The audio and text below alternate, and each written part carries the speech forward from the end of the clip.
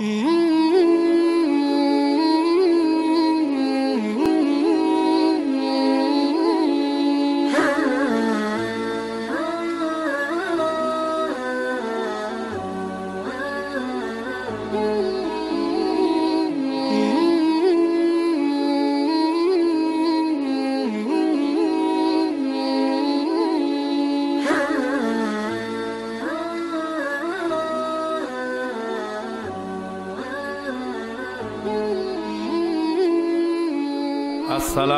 عليكم ورحمة الله وبركاته.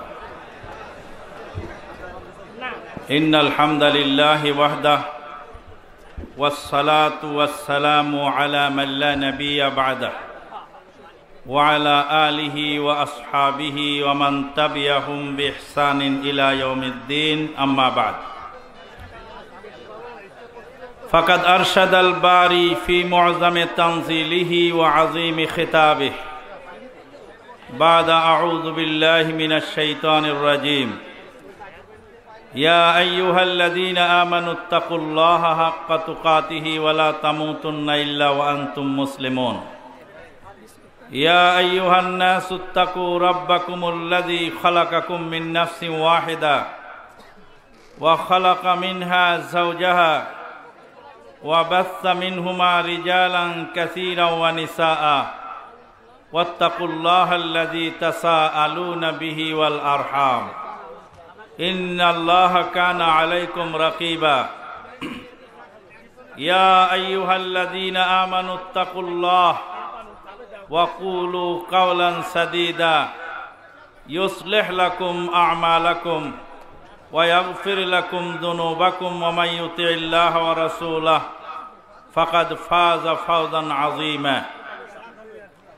ثم اما بعد قال الله تبارك وتعالى اتبعوا ما انزل اليكم من ربكم ولا تتبعوا من دونه اولياء قليلا ما تذكرون وقال النبي الامين صلى الله عليه وسلم تركت فيكم امرين لن تضلوا ما تمسكتم بهما কিতাব আল্লাহ ওয়াসুন্নতি আও কামা কাল আলাইহি সালাতু ওয়াসসালাম আল্লাহ পাকের অশেষ মেহেরবানিতে আমরা দক্ষিণবঙ্গের ঐতিহ্যবাহী আজকের এই সমাবেশ দক্ষিণবঙ্গের আহলাদিসদের আয়োজিত আজকে সম্মিলিত এই সমাবেশে আল্লাহ পাক আমাদেরকে অংশগ্রহণ করে কোরআন ও সহিদিসের আলোচনা শোনার ও বলার তৌফিক দিলেন তারই বারগাহে শুক্রিয়া, আলহামদুলিল্লাহ। নবী মোহাম্মদুর রসুল্লাহ সাল্লাহ আলহি ওয়াসাল্লামের প্রতি জানাই অগণিত অসংখ্য দরুদ সালাম। আল্লাহুম্মা সাল্লি আলা মুহাম্মদ ওয়ালা আলী মুহাম্মদ ওবারিক ওসাল্লিম মহতারাম সভাপতি, মাননীয় পরিচালক উপস্থিত ওলামায় কেরাম ও সুধি মণ্ডলী, দূর দূরান্ত থেকে আগত সমাগত ভক্তিভাজন মুরব্বিয়ান সমবয়সী বন্ধুবর্গ, স্নেহের বয়কনিষ্ঠ ভ্রাতৃয় শ্রোত্রী মণ্ডলী, জবানিকার অন্তরালে অদূরে সুদূরে শ্রদ্ধাস্পদিনী সেনাশিস মা ভগ্নিগণ। আজকের এই সমাবেশ আমাদেরকে জানিয়ে দিচ্ছে, যে আহলে হাদিসরা মরে নাই, মরবেও না। দুনিয়ার মানুষ ফ্রিজ কিনেন, টিভি কেনেন, যাই কিছু কেনেন, সেগুলি গ্রান্টি কার্ড থাকে থাকে না? গ্রান্টি কার্ড কেউ ছয় মাসের দেয়, কেউ এক বছরের দেয়, কেউ বা দুই বছরের দেয়, কেউ বা পাঁচ বছরের দেয়। আর আহলাদিসদের গ্যারান্টি কার্ড দিয়েছেন স্বয়ং নবী মোহাম্মদুর রাসুল্লাহ সাল্লাহ সাল্লাম। আমাদের গ্যারান্টি কার্ড কতদিন পর্যন্ত? হাত্তা তাকুম কিয়ামত পর্যন্ত এই আহলাদিস জামাতের গ্যারান্টি কার্ড, আলহামদুলিল্লাহ। গ্যারান্টি কার্ড কে দিয়েছেন? মোহাম্মদুর রসুল্লাহ সাল্লাল্লাহু আলাইহে ওয়াসাল্লাম। আরে মেয়াদ কতটুকু? কিয়ামত পর্যন্ত, আল্লাহ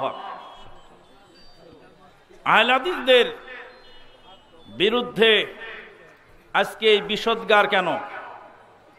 আহলাদিস বিরুদ্ধের বিরুদ্ধে এতকাল এত কথা হয়নি, এখন হচ্ছে কেন? যখন সারা দুনিয়াতে কোরআন ও সৈয়াদিসের জয় জয়কার চলছে, কোরআন ও সৈয়াদিসের আলোকে লক্ষ লক্ষ মানুষ যখন পাগল পারা হয়ে সৈয়াদিসের দিকে ধাবিত হচ্ছে, তখনই এদেশের এক শ্রেণির মানুষের মাথা নষ্ট হয়ে গেছে। কারণ ব্যবসা বোধহয় এবার শেষ হয়ে গেল। ধাপ্পাবাজি বোধহয় এবার শেষ হয়ে গেল। যার ফলে এত কথা আর এত বক্তব্য। তবে শুনে রাখুন, ক্যান্সারের রুগী যেমন বাঁচে না, টুডে অর টুমোরো মারা যায়।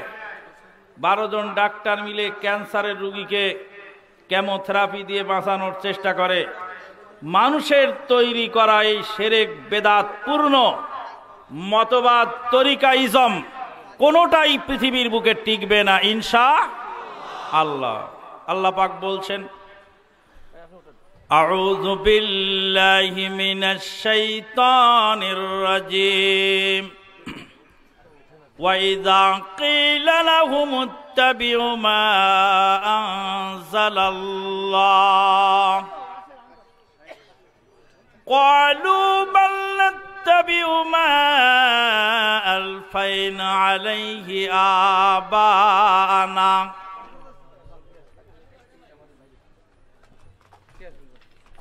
وإذا قيل لهم اتبعوا ما أنزل الله قالوا بل نتبع ما ألفينا عليه آباءنا أولو كان آباؤهم لا يعقلون شيئا ওয়ালা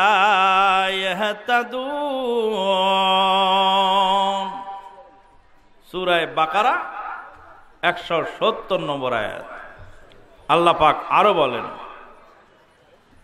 ইত্তাবিউ মা উনজিলা ইলাইকুম মির রাব্বিকুম। ولا تتبعوا من دونه أولياء قليلا ما تذكرون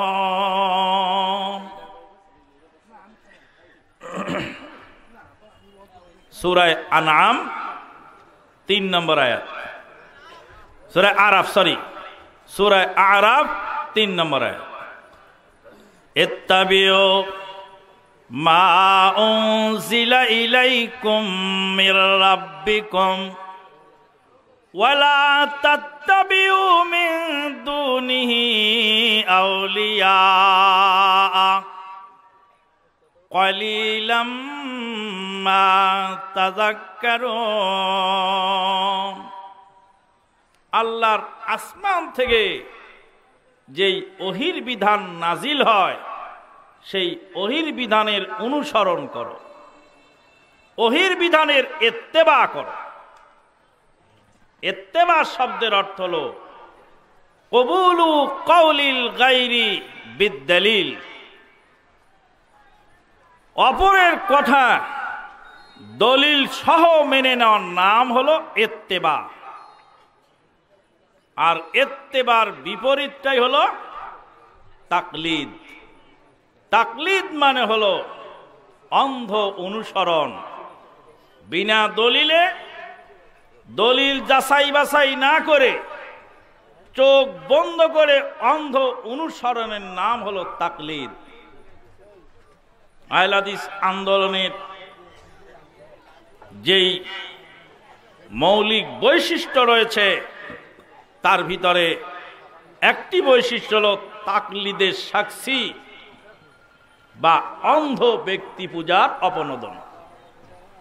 আহলাদিস, এমন এক বিশ্বাসের নাম, এমন এক জামায়াতের নাম, যেই জামাতের লোকেরা পৃথিবীর কারও কথা বিনা দলিলে মানে না। যার জ্বলন্ত প্রমাণ দেখতে পেলেন মাত্র কয়েক মিনিট আগে। মদিনা ইউনিভার্সিটি থেকে পড়ে এসেছে আমানুল্লাহ বিন ইসমাইল আল মাদানি আয়াতের রেফারেন্স ভুল হওয়ার সঙ্গে সঙ্গেই পাশ থেকে টুকে দিয়ে বলছেন সুরায় আনাম নয় সুরায় আরা এরই নাম হলো আহলে হাদিস। পৃথিবীর কোন মনীষী, কোন ব্যক্তি, কোন দল, কোন জনগোষ্ঠী, কোন মহামতি ইমাম, কারও কথাকেই বিনা দলিলে তারা কোনো সময় মানে না। আমাকে একজন বলছিলেন যে, আপনারা কি তাহলে মাঝাব মানেন না? বলে, আমরা তো মাঝাব মানি, মানবো না মানে? আমরা চার মাঝাব মানি, আমরা নির্ধারিত কোনো এক মাঝাব মানি না। আমরা মাঝাব মানি, চার মাঝাব মানি, কখন মানি? যখন কোরআন ও সৈয়াদিসের দলিল সরাসরি পাওয়া যায় না, তখন আমরা মাঝাবের ফতুয়া মানি, তার আগে নয়। আমরা মাঝাব মানি তায়াম্মুমের মতো। কিসের মতো? জোরে বলেন কিসের মতো? তায়াম্মুমের মতো। পানি থাকলে তায়াম্মুম চলে। জোরে বলেন, পানি থাকতে কি তায়াম্মুম চলে? কিয়ামত পর্যন্ত কোনো মুক্তি ফতোয়া দিতে পারবে না যে পানি থাকা অবস্থায় তায়াম্মুম চলবে। যতক্ষণ পানি নাই অথবা পানি ব্যবহার করতে অক্ষম, তখন আমরা তায়াম্মুম করি। কিন্তু পানি পাওয়ার সঙ্গে সঙ্গে তায়াম্মুম বাতিল হয়ে যায়। যেই ক্ষেত্রে কোরআন ও সৈয়াদিসের দলিল আমরা পাই নাই বা আমাদের কাছে কোরআন ও সৈয়াদিসের দলিল পৌঁছে নাই, সেই ক্ষেত্রে আমরা কোরআন ও সৈয়াদিস ভিত্তিক যে কোনো আলেমের এজতেহাদি ফতুয়া আমরা মানতে পারব ইনশা আল্লাহ।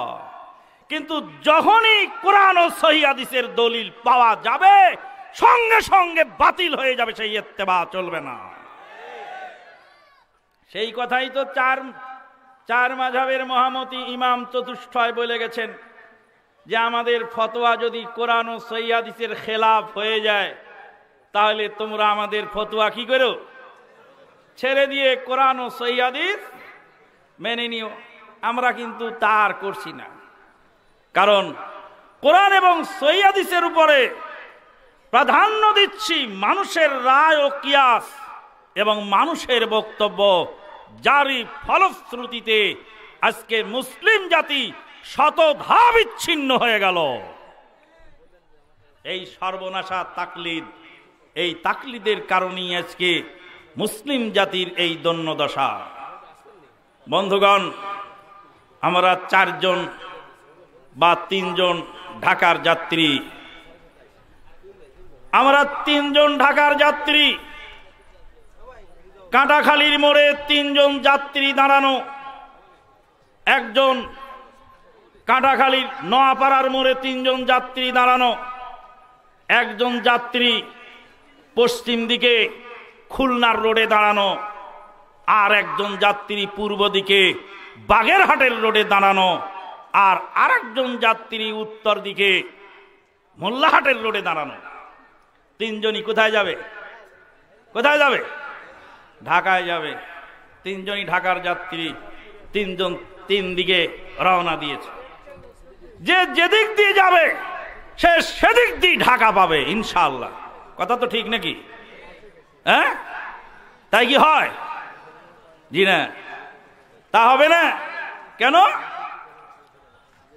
পশ্চিম দিকে যে রাস্তা চলে গেল, ওটা খুলনা চলে যাচ্ছে। পূর্ব দিকে যে রাস্তা গেল, সেটা বাগেরহাট চলে গেল। বাগেরহাটে যাবেন, পিরোজপুর যাবেন, ভান্ডারিয়া, মঠবাড়িয়া, বরিশাল চলে যাবেন। যেতে যেতে যেতে যেতে বঙ্গোপসাগরে ডুবে মরবেন, কিন্তু ঢাকা চোখে দেখবেন না। এখন একজন মতলব মতলববাজ এসে বলতে চারটাই ঠিক রে বাবা, যে যে দিক দিয়ে যায়, সবটাই ঠিক। আমরা আজকে এটাই ক্লিয়ার করে দিয়েছি। কোরআন এবং সহি হাদিসের দলিল ছাড়া কারও কোনো কথা মানা চলবে না। জেনে রাখা ভালো হবে।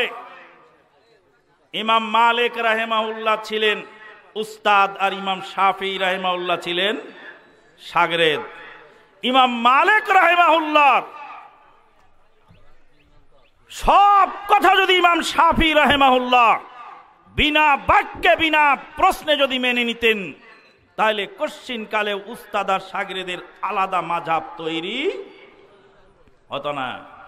আল্লাহ নবী সাল্লাম বলেন, মুস্তাহেদ যদি ভুল করে, তাহলে এক নেকি পেয়ে যায়।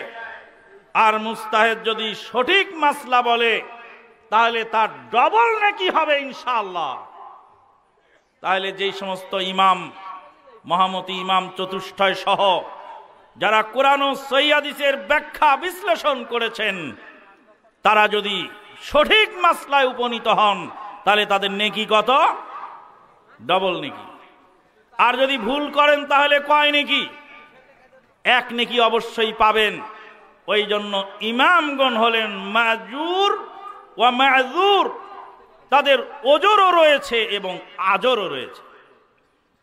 যারই ফলশ্রুতিতে ইমাম আবু হানিফা রাহেমাহুল্লার প্রধান দুই সাগরের তার দেওয়া সমুদয় মাসলায় সব কিছুতে একমত পোষণ করেন নেই।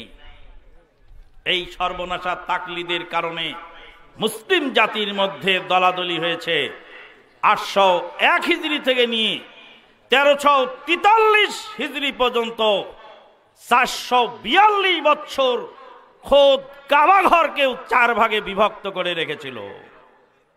বন্ধুগণ, আজকে আমরা বলছি যাচাই বাছাই করে কোরআন এবং সহিয়াদিসের দলিল যেটাতে আছে সেটাই মেনে নাও। কিন্তু তারা বলছে, এত বড় আলেম, এত বড় ইমাম, এত বড় মুফতি, এনারা কি ভুল করেন? তামাম দুনিয়ার এত মানুষ তারা কি ভুল করেন? এই কথাটাই মক্কার কাফেরেরা বলতো আল্লাহ পাক বলছেন أعوذ بالله من الشيطان الرجيم وإذا قيل لهم اتبعوا ما أنزل الله قالوا بل نتبع ما ألفينا عليه آباءنا أولو كان آباؤهم لا يعقلون شيئا ولا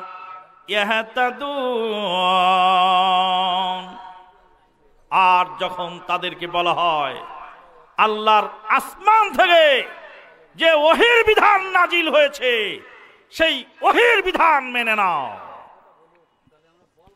قالوا بل نتبع ما ألفينا عليه আবানা না আমরা অনুসরণ করব ওই সব বিষয়ে যা বাপদাদা থেকে পেয়েছি আয়াতটা সতর্কতার সঙ্গে পড়লে আয়াতের ভিতরে একটি মৌলিকত্ব আপনি খুঁজে পাচ্ছেন মক্কার কাফেরেরা বলছে বাপ দাদা থেকে যা পেয়েছি, সেটার এত্তেবা করব। এই কথা বলেন কেন আপনারা পিছন? ইন্নালিল্লাহি ঢাকা থেকে বক্তা ডেকে এনেছেন আপনারা, নিজেরা গল্প শুরু করেছেন। কারণ কি, ব্যাপার কি? বলেন আপনারা কথা বলেন। যারা পিছনে কথা বলেন তারা কথা বলেন। বক্তৃতা শুরু হওয়া থেকে এই পর্যন্ত খালি কথাই চলতে পিছনে। ইন্নালিল্লাহি ওয়া ইন্না ইলাইহি কোথায় ভলান্টিয়ার আর কোথায় কর্তৃপক্ষ? এরা এসেছে সর্বনাশ করার জন্য। ভালো করে শুনে রাখুন, বলছি। মক্কার কাফেরা বলছে, কলু বাল আমরা এত্তেবা করব যা বাপ দাদা করেছে তা। তারা কি মক্কার কাফেরা কি বলল যে বাপ দাদা যা করেছে তার তাকলিদ করব? কথা বলেন। মক্কার কাফেরেরা কি বলল বাপ দাদার তাকলিদ করব বলল? মক্কার কাফেরেরা কি বলল? কলু বল নাত্তাবিউ আবানা। আওয়ালাউ কানা বাউহুম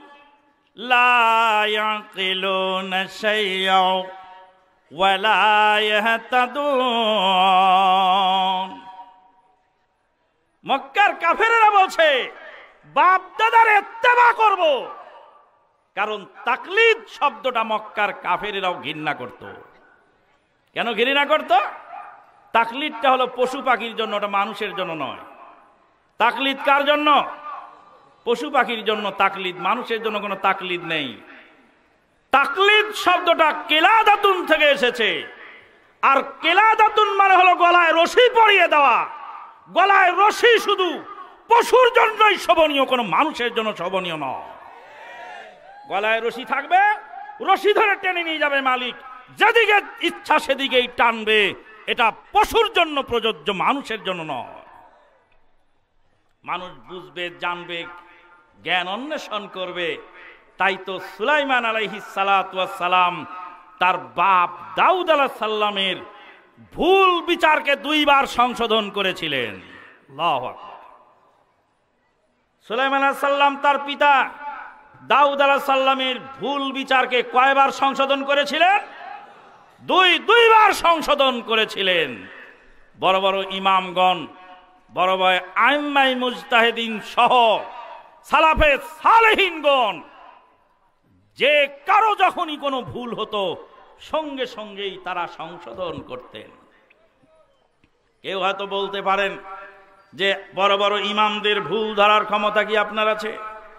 বড় বড় ইমামদের ভুল ধরার ক্ষমতা আমার নেই। আমার বাপদাদা চোদ্দ পুরুষ, পাঁচ চোদ্দং সত্তর পুরুষের কোন ইমামের ভুল ধরার ক্ষমতা নেই। কিন্তু খোদ ইমাম আবু হানিফা রাহেমাহুল্লার ইস্তেহাদি মাসলার ভুল তার সাগরেদরা ধরে কেতাবের পাতায় লিখে গেছেন, আমরা সেটা অনুবাদ করে জাতিকে শোনা ইমাম মালিক রাহেমাউল্লাহর সব ফতুয়ার সঙ্গে তার সাগরেদ ইমাম শাফি রাহেমাউল্লাহ একমত হন নেই, তাদের ভুল তারাই সংশোধন করে গেছেন। এই তাকলিদ যদি এখন জারি থাকে, কোরআন সুন্নার এই ইস্তেহাদি গবেষণা কিয়ামত পর্যন্ত যদি উন্মুক্ত না রাখা যায়, তখন আপনি চোদ্দশো বছর পরে এসে মাইক দিয়ে আজান দেবেন কিনা? চার মাঝাবের মহামতি চার ইমামের জামানায় মাইক ছিল? চার মাঝাবের মহামতি চার ইমাম কি মাইকের ব্যাপারে কোনো ফয়সালা দিয়েছেন? দিতে পারেন নাই। তা আপনি যদি মাঝাবের অনুসরণ করেন, আর যদি সেই ইমামের অন্ধ তাকলিদ করেন, তাহলে আপনার এখন মাইকে আজান দেওয়ার দলিল কোথায়? মাইকে আজান দেওয়ার দলিল কোথায়? একজন মাঝহাবি আলেম সাহেব বলছিলেন, ইমামের পিছনে সুরা ফাতেহা পড়তে হবে না, তার দলিল কোরআনে আছে। কেন? আল্লাহ পাক বলছেন, যখন ইমাম পড়ে তখন তুমি চুপ থাকো। ভারতের মাটিতে একজন যুবক মানুষ ইসলাম কবুল করেছেন সবে মাত্র, সেই যুবক বলছে যে, হুজুর, আপনি কি মাঝহাব মানেন নাকি আপনি কোরআন হাদিস মানেন? আমি কোরআন হাদিস বুঝি না, তাই আমি মাঝহাব মানি। তো বলছে, আপনার জন্য কোরআনের আয়াত দিয়ে দলিল দেওয়া হারাম। আপনি কেন কোরআনের আয়াত পড়ছেন? আর বলছেন, কোরআনে আল্লাহ চুপ থাকতে বলেছেন। আপনি তো কোরআন হাদিস বোঝেন না দেখেই আপনি তাকলিদ করেন। আপনার মতো নাদানের জন্য কোরআন হাদিস বলা বৈধ নয়। একজন নহ মুসলিম কেবলমাত্র ইসলাম কবুল করেছে। তার প্রশ্নের জবাব দেওয়াই সম্ভব হচ্ছে? না। এখন কোন মাঝাবি ব্যক্তি যদি ইমাম সাহেবের কবরে যায় বলেন, যে ইমাম সাহেব, আমি তো আপনার মাঝাব মানি, কিন্তু মাইকে আজান দেওয়া যাবে কিনা? আপনি তো ফতুয়া দিয়ে যেতে পারেন নাই, এখন মাইক চালু হয়েছে, মাইকে আজান দেব কিনা আপনি ফতুয়া দেন? যদি আপনি মাইকে আজান দেওয়ার ফতুয়া আপনি বর্তমান জামানার মুক্তিদের কাছে নিয়ে থাকেন, তাহলে আপনি তাকলিদ বা করলেন কি করে আর ইমামকে মানলেন কি করে? তাহলে আপনার ইমামকে আপনি মানেন না তো আমি মানব কোন দুঃখে? ওই জন্য আল্লাহ পাক বলছেন, তাদের পূর্বপুরুষেরা, তারা হয়তো বুঝতো অথবা না বুঝতো। আজকে এই তাকলিদের সমর্থকদের দলিল হলো মোট তিনটি। কয়টি? এক নাম্বার দলিল হলো এত মানুষ কি ভুল করে? এক নাম্বার দলিল কি? এত মানুষ কি ভুল করে? এই পৃথিবীতে প্রায়, এই পৃথিবীতে প্রায় কত মানুষ বাস করে? কত? সাতশো কোটি মানুষ। হ্যাঁ? এই পৃথিবীতে কত মানুষ বাস করে? প্রায় সাতশো কোটি মানুষ বাস করে এই পৃথিবীতে। সাতশো কোটি মানুষের সবাই দেখে আকাশ মাটিতে লেগে আছে। ওই সরকান্দিতে যাবেন, এদিকে না সরকান্দি? সরকান্দিতে যায় আকাশে চড়া যাবে, গাছে উঠলে। কি দেখে? কয়জন দেখে? সারা পৃথিবীর সাতশো কোটি মানুষ দেখে আকাশ মাটিতে লেগে আছে। আকাশ কি মাটিতে লেগেছে? তাহলে সব মানুষ কি সঠিক দেখে না ভুল দেখে? এত মানুষ ভুল দেখে তাহলে অনেক মানুষ দেখলেই সেটা সঠিক হয়। না। হাসরের ময়দানে সমস্ত হাসরবাসীরা সুপারিশ চাওয়ার জন্য আদম আলাইসাল্লামের কাছে যাবেন। আদম আলাইসাল্লাম সুপারিশ করতে পারবেন? না, সুপারিশ করতে ব্যর্থ হবেন। সমস্ত হাসরবাসী মিলে যার কাছে সুপারিশ চাওয়ার জন্য যাকে সিলেক্ট করলেন, সমস্ত হাসরবাসীর সিলেকশন ভুল হয়ে গেল। সমস্ত হাসরবাসীর সিলেকশন কি হয়ে গেল? সমস্ত হাসরবাসীরা মিলে সুপারিশ চাওয়ার জন্য আদম আলাহিসাল্লামের কাছে যাবেন। কিন্তু আদম আলাহিসাল্লাম সুপারিশ করতে পারবেন না। তাহলে অনেক মানুষের সিলেকশন কি ঠিক থাকল না ভুল হলো? তাহলে অনেক মানুষের কথা দলিল হতে পারে না। আল্লাহ দুই নম্বর দলিল হলো, এতকাল চলছে, এখন চলবে না কেন? এতদিন চলছে, এখন চলবে না কেন? বাপ দাদা মাটির ঘরে বাস করেছেন, তখন চলেছে। এখন তুমি ইঞ্জিনিয়ার হয়ে, তুমি তোমার বাপ দাদার বাড়িঘর ভেঙে তছনছ করে, নতুন করে আর্কিটেকচার ইঞ্জিনিয়ার দিয়ে ডিজাইন করে বাড়ি বানাচ্ছ, তখন বলো না বাপ দাদার চলেছে, আমার চলে না কেন? আল্লাহ তাই বলছেন, ইয়ালামুন জাহিরাম মিনাল হায়াতিদ দুনিয়া ওরা দুনিয়া ভালো বোঝে। বাপের ঘর ভেঙে ফেলতে হবে। বাপের পুরাতন ভিজে মাটি উচ্ছেদ করে সেখানে বিল্ডিং বানাতে হবে আধুনিক মডেলের। তাতে কোনো দ্বিমত নাই। ধর্মের ব্যাপারে যদি বাপ দাদা ভুল করে থাকে, তাহলে সেখানে আমি মঘা। এই মঘা আহলাদিসরা হতে জানে না। আহলাদিসরা বাপ দাদার রসম রিওয়াজকে কোনো অবস্থায় প্রাধান্য দেয় না। তিন নাম্বার দলিল হলো, এত বড় বড় আলেম তারা কি বোঝে না? তুমি একাই বুঝলে? বুখারির এই হাদিস এতদিন কোথায় ছিল রে? প্রায় বারোশো বছর পূর্বে বুখারির হাদিস বুখারিতেই ছিল, কিন্তু আমরা পড়ি নাই, তাই পাই না। আমরা কিছুদিন আগে সুন্দরবনে সফরে গেছিলাম। ওখানে গিয়ে সুন্দরবনের মধ্যে একটি গাছ দেখে আসলাম। গাছের নাম হলো ম্যানগ্রোভ গাছ। কি গাছ? ম্যানগ্রোভ গাছ। আপনারা ম্যানগ্রোভ গাছের নাম আজকের দিনের আগে কে কে শুনেছেন? চার পাঁচজন শুনলেন আর অনেকেই আজকে ম্যানগ্রোভ গাছের নাম শুনলেন। যদি বলেন সুন্দরবনে ম্যানগ্রোভ গাছ আছে, আমি বিশ্বাস করি না। ম্যানগ্রোভ গাছ আল্লাহ পাক সুন্দরবন যেদিন বানিয়েছেন, সেদিনই সৃষ্টি করেছেন। আপনি জানেন না, সেজন্য আমি তাই বন্ধগণ, ইমাম বুখারি রাহেমাউল্লাহ যেদিন সহি বুখারি সংকলন করেছিলেন, সেদিন হাদিস সেখানে ছিল।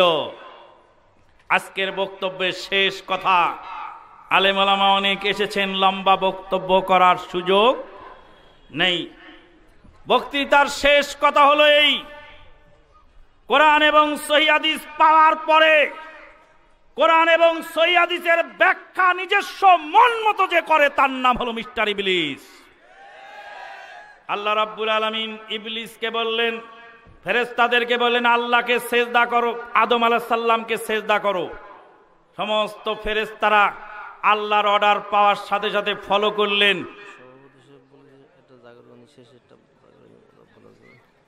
আমি? সর্বনাশ।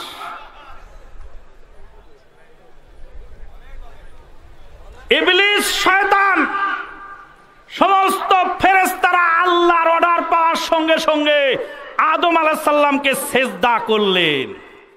সেজদা করলেন কে? কথা বলেন, কে সেজদা করলেন? ফেরেস্তারা কার অর্ডারে আল্লাহর অর্ডারে আদম আলাহিসাল্লাম কি আল্লাহ না গায়রুল্লাহ? আল্লাহ না গায়রুল্লাহ? আদম আলাহিসাল্লামকে সেজদা করা। কোন মানুষকে সেজদা করা হালাল না হারাম? কোন মানুষকে সেজদা করা হালাল না হারাম? শরীয়তের দৃষ্টিতে কোন মানুষকে সেজদা করা হারাম। কিন্তু আল্লাহ যখন অর্ডার দিলেন, তখন ফরজ হয়ে গেল। মিস্টার ইবলিস বলছে, আমি আবার আদমকে সেজদা করব কেন? সেজদা করব না করো, আল্লাহকে করব। আমি হলাম মাঠ আগুনের তৈরি, ও হলো মাটির তৈরি। আমি ওকে সেজদা করব আমার তো প্রেস্টিদের হ্যাম্পার। আল্লাহর অর্ডার পাওয়ার সঙ্গে সঙ্গে আল্লাহর অর্ডারের অপব্যাখ্যা যে করল তার নাম মিস্টার ইবলিস আমরা যদি মসজিদে ঢুকে একই কথা বলি, আল্লাহ রসুলাম বলছেন, পায়ে পায়ে কাঁধে কাঁধে মিলিয়ে দাঁড়াও। আর আমি যদি বলি, আমি মুরব্বী মানুষ, তুই আমার পায়ের সাথে লাগাবি কেন? তাহলে বুঝতে হবে মিস্টার ইবিলিস যেই কায়দায় চলেছিল আমরাও সেই কায়দায় চলছি। অমা আলাইনা ইল্লাল বালা। সভাপতি সাহেব একটা জাগরণী শুনতে চেয়েছে জাগরণী গাবো নাকি? বুড়ে মানুষ জাগরণী গাইলে কি ভালো শোনা যায়?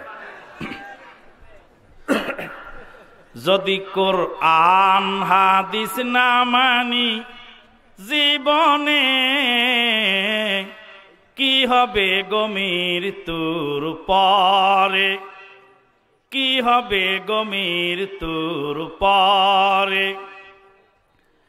যদি কোর আন হাদিস না মানি জীবনে, কি হবে গমির তুর পরে? কি হবে গমির তুর পরে? কবরের মাঝে কি দিব জুয়াব? কবরের মাঝে কি দিব জুয়াব? মুনকির নাকিরের তরে, মুনকির নাকিরের তরে। যদি কোর আন হাদিস না মানি জীবনে কি হবে গমির তুর পরে? কি হবে গমির তুর পরে? চার মাঝহাবকে ফরজ জেনেছি। এক মাঝহাবে আমল করেছি। কোরআন হাদিসের দিকে, কোরআন হাদিসের দিকে দেখি নাই তো ফিরে। কি হবে গমির তুর পরে? কি হবে গমির তুর পরে? যদি কুর আন হাদিস না মানি জীবনে, কি হবে গমির তোর পরে? একসঙ্গে তিন তালাক দিলাম তবা করে বউ ঘরে নিলাম, ইমাম সাহেবের ফতুয়া পেয়ে ঘরের বউ পরকে দিলাম। এমন বিধান কভু ইসলামে হতে পারে। কি হবে গমির তোর পরে? কি হবে গমির তোর পরে? আসসালামু আলাইকুম ওয়া রাহমাতুল্লাহি ওয়া বারাকাত।